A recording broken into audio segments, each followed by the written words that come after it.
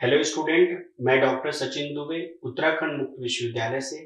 आज हम लोग फिर से स्टार्ट कर रहे हैं एक नए टॉपिक से, जो कि हम लोग का है इनकम टैक्स प्रीवियस क्लास में इनकम टैक्स पर हम लोगों ने कुछ चर्चा किया था, जिसमें इनकम टैक्स की मीनिंग और टाइप्स ऑफ़ टैक्सेस और इनकम टैक्स में यूज़ होने वाले कुछ कीवर्ड्स जैसे पर्सन का मतलब क्या होता है एसएससी कौन होता है इन सब चीज़ों पर हम लोगों ने पिछले प्रीवियस क्लास पर चर्चा किया था।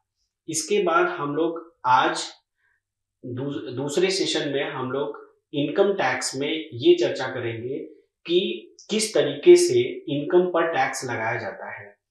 प्रीवियस क्लास में हमने ये देखा था कि कोई भी पर्सन जो कि इनकम कमाता है, चाहे वो इंडिविजुअल हो या कंपनी हो या फर्म हो या एच हो या एसोसिएशन ऑफ़ पर्सन हो या बॉडी ऑफ़ इंडिविजुअल हो, वो अगर कोई भी इनकम किसी वर्ष कमाता है तो जिस वर्ष वो इनकम कमाता है, उसे हम कहते हैं प्रीवियस ईयर लेकिन जो कमाई हुई इनकम है, उस पर अगले वर्ष टैक्स का पेमेंट करता है, जिसको हम लोग असेसमेंट ईयर कहते हैं। मतलब एक वर्ष वो पैसा पहले कमाते हैं, फिर नेक्स्ट ईयर एसेसिंग ऑफिसर उस इंडिविजुअल या एसएससी के इनकम को एसेस करता है फिर उसके बाद टैक्स लाइबिलिटी फाइंड आउट की जाती है।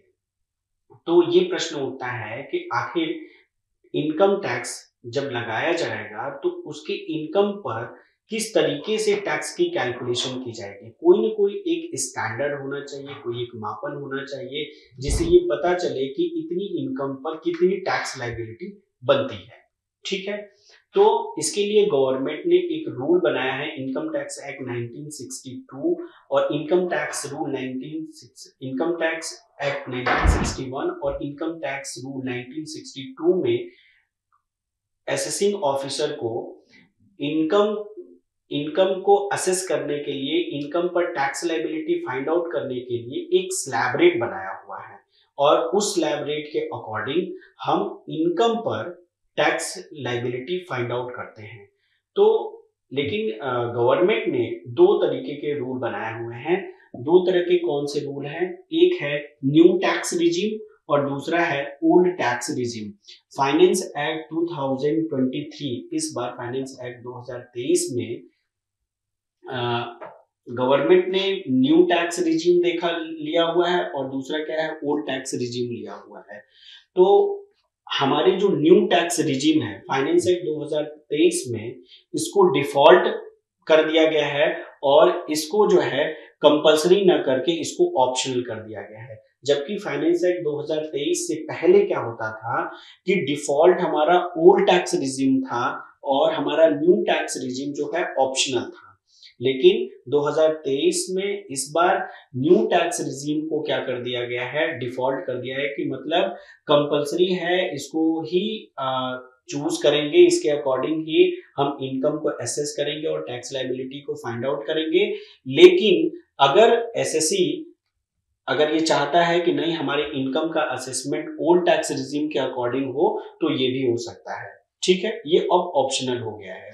अच्छा इनकम टैक्स में इनकम को जो स्लैब रेट बनाया गया है, जिसमें हम इनकम को असेस करेंगे, न्यू टैक्स रिजीम के अकॉर्डिंग और ओल्ड टैक्स रिजीम के अकॉर्डिंग, वो कैसे कैसे है? पहले हम लोग देख लेते हैं न्यू टैक्स रिजीम का। न्यू टैक्स रिजीम में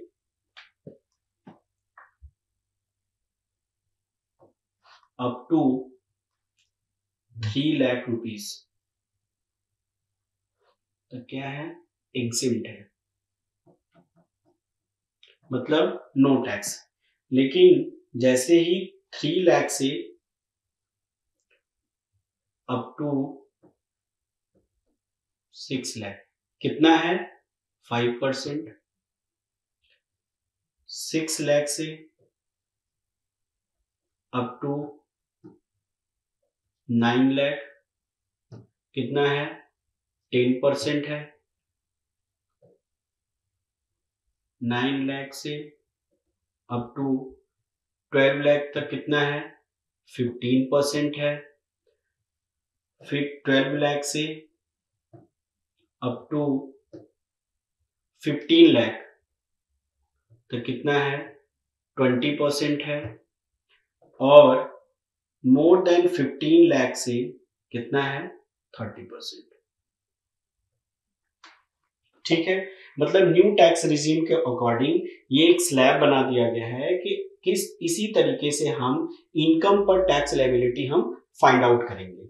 ठीक है? ओल्ड टैक्स रिजीम में जो स्लैब रेट दिया गया है, वो दिया गया है एज के अकॉर्डिंग जिसमें सबसे पहले बताया गया है कि किसी भी पर्सन की जो एज है इंडिविजुअल की, अगर लेस देन सिक्सटी ईयर दूसरा बताया गया है मोर देन और इक्वल टू सिक्सटी ईयर लेकिन लेस देन कितना? एट्टी ईयर और तीसरा बताया गया है मोर देन एट्टी ईयर इसका मतलब जो ओल्ड टैक्स रिजीम है हमारा, वो अब एज के अकॉर्डिंग दिया गया है। वो इंडिविजुअल जिनकी एज साठ से कम हो, वो पहले स्लैब में फॉल करेंगे। दूसरा जो कि जिनकी एज 60 से ज़्यादा हो या 60 हो लेकिन 80 से कम हो, वो दूसरे स्लैब रेट में फॉल करेंगे। और तीसरा, जिनकी एज 80 या 80 साल से ज़्यादा हो। वो न्यू टैक्स रिजीम में तो हमने देख लिया कि हमारा जो इनकम है, वो इस तरीके से स्लैब बनाया गया है और जो रेट अप्लाई होगा, वो रेट ऐसे ऐसे दिया गया है। लेकिन ओल्ड टैक्स रिजीम में एज के अकॉर्डिंग दिया गया है और एज में अलग अलग रेट्स बताए गए हैं। ठीक है? जैसे अगर हम बात करते हैं फ़र्स्ट ऑफ़ ऑल पहला जो हमारा स्लैब रेट है, जो कि 60 ईयर से कम है, उसमें बताया गया है कि up to two lakh fifty thousand तक क्या है? नील कोई टैक्स नहीं लगेगा। लेकिन जब इनकम ढाई लाख से ज़्यादा जाए कहाँ तक? फाइव लैख तक। तो उसमें कितना लगेगा? पाँच परसेंट। फिर जैसे ही पाँच लाख से फाइव लैख से अप टू कितना? टेन लैख उसमें रेट कितना लगेगा? Twenty percent. और जैसे ही हम टेन लैख से ऊपर जाते हैं तो कितना रेट लगेगा? थर्टी परसेंट ठीक है? लेकिन जो दूसरे स्लैब में हम आते हैं तो इसमें जो एग्जिबिशन की लिमिट है अप टू कितनी है? थ्री लैख तक। ये नील है। लेकिन थ्री लैख से ऊपर गए, और कहाँ तक? फाइव लैख तक। तो रेट क्या लगा? फाइव परसेंट उसके बाद फाइव लैख से हम गए कहाँ तक? दस लाख तक। तो रेट कितना लगा? आपका ट्वेंटी परसेंट और जैसे ही हम दस लाख के ऊपर हमारी इनकम जाती है तो कितना हो जाता है रेट थर्टी परसेंट लेकिन जो तीसरा स्लैब है, जिनकी एज जो है अस्सी या अस्सी साल से ज़्यादा है, उनके लिए एग्जिबिशन लिमिट कितनी बनाई गई है? फाइव लैख फाइव लैख तक उनकी एग्जिबिशन लिमिट है, कोई टैक्स नहीं लगेगा। लेकिन जैसे ही फाइव लैख से ऊपर जाए, कहाँ तक?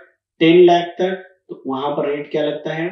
ट्वेंटी परसेंट और जैसे ही दस लाख से ऊपर जाता है तो रेट हो जाता है कितना? थर्टी परसेंट ठीक है? एक एग्ज़ाम्पल के ज़रिए हम लोग देख लेते हैं कि किस तरीके से इनकम कैलकुलेट किया जाता है। ठीक है? जिनका एज है कितना?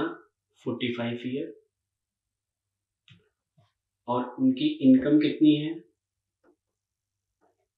इनकम है आठ लाख। अब हमें टैक्स लाइबिलिटी फाइंड आउट करना है। हम एक बार इसको कैलकुलेट करेंगे न्यू टैक्स रिजीम के अकॉर्डिंग दूसरा हम कैलकुलेट करेंगे ओल्ड टैक्स रिजीम के अकॉर्डिंग ठीक है? तो पहले हम लोग न्यू टैक्स रिजीम के अकॉर्डिंग हम कैलकुलेट करते हैं तो न्यू टैक्स रिजीम हमारा क्या कहता है कि अप टू थ्री लैख वहाँ तक कोई टैक्स नहीं लगेगा। लेकिन हम जब थ्री लैख के अबव जाते हैं और अप टू कितना? सिक्स लैख तो हमारा क्या किस रेट से लगता है? फाइव परसेंट तो जो मिस्टर एक्स है उनकी इनकम कितनी थी? उनकी इनकम है आठ लाख। तो क्या थ्री लाख तो हमारे शुरू के जो इनकम है, उस पर तो कोई टैक्स नहीं लग रहा है? लेकिन थ्री लाख से जब हम आगे बढ़ रहे हैं और सिक्स लाख तक आ रहे हैं तो वो इनकम आठ लाख इसी में फॉल कर रही है तो इनके बीच का डिफरेंस कितना है? थ्री लाख तो थ्री लैख पर फाइव परसेंट लगाएँगे तो कितना हो जाएगा? फिफ्टीन थाउज़ेंड ठीक है? फिर उसके बाद कहता है कि six lakh six lakh up to कितना? नाइन लैख। पर हमारा रेट ऑफ़ टैक्स कितना हो जाता है? Ten percent.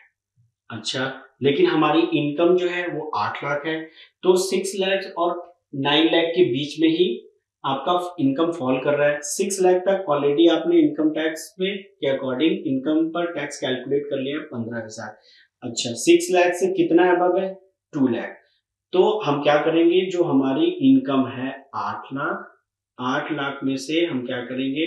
यहाँ जहाँ तक हमने ऑलरेडी टैक्स कैलकुलेट कर लिया है, उसको हम माइनस कर देंगे। और माइनस करेंगे तो कितना है? बीच का डिफरेंस कितना है? दो लाख। दो लाख पे हम दस परसेंट लगाएँगे तो कितना हो जाएगा?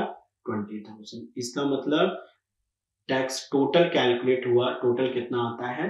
Thirty five thousand new tax regime के अकॉर्डिंग मिस्टर एक्स अगर आठ लाख की इनकम अर्न करते हैं तो गवर्नमेंट को टैक्स का पेमेंट कितना करना पड़ेगा? Thirty five thousand. Up to three lakh तक, कोई टैक्स नहीं। थ्री लाख से लेकर के सिक्स लाख के बीच का डिफरेंस थ्री लाख, उसका फाइव परसेंट हमने रेट लगाया तो कितना आ गया? Fifteen thousand. सिक्स लाख से हम आगे बढ़े, कहाँ तक? नाइन लाख तक। लेकिन हमारी इनकम जो है, वो कितनी है? आठ लाख है, जो कि इसी के बीच फॉल कर रही है। तो छह लाख तक तो हमने ऑलरेडी टैक्स निकाल के रख लिया है, वो पंद्रह हज़ार। तो अभी हमें और इनकम कितना हमारा इससे एक्सेस है? दो लाख। तो इसी के बीच फॉल कर रहा है तो हम अपनी इनकम को पकड़े और कहाँ तक ऑलरेडी टैक्स लगा चुके हैं? सिक्स लाख तो बीच का डिफरेंस दो लाख। उस पर हमने टेन परसेंट लगाया तो ट्वेंटी थाउज़ेंड टोटल हमारा जो टैक्स कैलकुलेट होकर के आ रहा है, वो कितना आ रहा है? थर्टी फाइव थाउज़ेंड ये हमारा क्या, किसके अकॉर्डिंग था? न्यू टैक्स रिजीम के अकॉर्डिंग था। अब इसके बाद हम एक काम करते हैं, इसी को हम कैलकुलेट करते हैं ओल्ड टैक्स रिजीम के अकॉर्डिंग ठीक है? तो हम सबसे पहले ये देखेंगे कि जो हमारा ओल्ड टैक्स रिजीम है, वो ये कहता है कि जो स्लैब बनाया गया है, वो एज के अकॉर्डिंग बनाया गया है। उसमें तीन स्लैब बनाए गए हैं, जिसमें पहला जो स्लैब है वो कहता है सिक्सटी ईयर से कम एज हो, दूसरा कहता है सिक्सटी ईयर या उससे ज़्यादा हो लेकिन अस्सी से कम हो, और तीसरा स्लैब कहता है क्या, अस्सी से ज़्यादा होना चाहिए, अस्सी या अस्सी से ज़्यादा होना चाहिए। तो मिस्टर एक्स की जो एज है वो कितनी थी? फोर्टी फाइव थी। तो हमारा कौन सा स्लैब फॉलो हो रहा है? पहला स्लैब और पहला स्लैब क्या कह रहा है कि up to two lakh fifty thousand तक उसमें कोई टैक्स चार्ज नहीं होता है। लेकिन जैसे ही टू लैख फिफ्टी थाउज़ेंड से हम एबव होते हैं और कहाँ तक? फाइव लैख तक। तो जो रेट ऑफ़ टैक्स है वो कितना है भैया? वो है फाइव परसेंट तो हम देखेंगे कि उस मिस्टर एक्स की इनकम कितनी थी? आठ लाख थी। तो इनके बीच का जो डिफरेंस है ढाई लाख तक तो, तो शुरू के जो इनकम है उस पर तो कोई टैक्स नहीं लग रहा है। लेकिन उसके बाद ढाई लाख से लेकर के पाँच लाख तक के बीच का जो डिफरेंस है वो कितना है? ढाई लाख है। और ढाई लाख पर हम कितना लगाएँगे? पाँच परसेंट तो कितना आ जाएगा? ट्वेल्व थाउज़ेंड फाइव हंड्रेड ठीक है? अभी भी इनकम उसकी इससे ज़्यादा है पाँच लाख से। अच्छा सेकेंड क्या कहता है? फाइव लैख से अब हो लेकिन अप टू अप टू कितना? टेन लैख तो उस केस में कितना लगता है? ट्वेंटी परसेंट ठीक है? फाइव लाख तक तो हमने टैक्स लाइबिलिटी फाइंड आउट कर लिया। वो कितना है? ट्वेल्व थाउज़ेंड फाइव हंड्रेड ठीक है? अब क्या है? कि मिस्टर एक्स की जो इनकम है, वो इसी के बीच फॉलो फॉल कर रही है। तो हम क्या करेंगे? लेकिन इससे ज़्यादा नहीं है। दस लाख से ज़्यादा नहीं है। तो जो मिस्टर एक्स की इनकम है, वो इनकम कितनी है? आठ लाख है और आठ लाख में हम माइनस कर देंगे, जहाँ तक ऑलरेडी हम टैक्स कैलकुलेट कर चुके हैं फाइव लैख उस पर हम ट्वेंटी परसेंट लगा देंगे। तो आठ लाख में फाइव लैख हमने माइनस किया तो कितना डिफरेंस आ रहा है? थ्री लैख थ्री लैख पर हम जब ट्वेंटी परसेंट करेंगे तो कितना आ जाएगा? सिक्सटी थाउज़ेंड सिक्सटी थाउज़ेंड तो टोटल टैक्स ये बन करके कितना आ जा रहा है? Seventy two thousand five hundred ठीक है? Up to two lakh fifty thousand तक कोई टैक्स नहीं। अगला दो लाख पचास हज़ार से पाँच लाख तक कितना? पाँच परसेंट उसका कितना आया? बारह हज़ार पाँच सौ। और पाँच लाख से दस लाख के बीच में जो रेट लग रहा है वो कितना लग रहा है? ट्वेंटी परसेंट लग रहा है। इनके बीच का डिफरेंस तो फाइव लाख है, लेकिन इनकम मिस्टर एक्स की कितनी है? आठ लाख तक की है, जो कि इसी के बीच में ही फॉल कर रही है। तो उनका इनकम आठ लाख। जहाँ तक ऑलरेडी टैक्स कैलकुलेट कर चुके हैं फाइव लाख हमने बीच में माइनस कर दिया। इनके बीच का डिफरेंस कितना है? थ्री लाख और थ्री लाख पर हमने ट्वेंटी परसेंट कैलकुलेट किया तो वो कितना आया? सिक्सटी थाउज़ेंड टोटल हमने कैलकुलेट कर दिया कितना? Seventy two thousand five hundred. ये हमारा किसके अकॉर्डिंग है?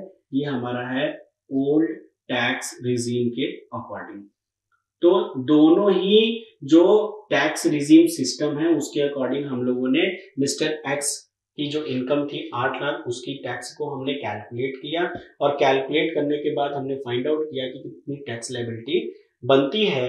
तो मिस्टर एक्स चाहे तो न्यू टैक्स रिजीम के अकॉर्डिंग भी अपने इनकम एसेस करा सकते हैं या ओल्ड टैक्स रिजीम के अकॉर्डिंग अपना इनकम एसेस कर सकते हैं। जो भी उनके लिए फिजबल होगा, वो कोई भी टैक्स रिजीम सिस्टम वो फॉलो कर सकते हैं। ठीक है? आगे आने वाले जो लेक्चर में हम कुछ इनकम टैक्स के रेसिडेंशियल स्टेटस के चैप्टर को लेकर के हम लोग आगे बढ़ेंगे। तब तक के लिए धन्यवाद।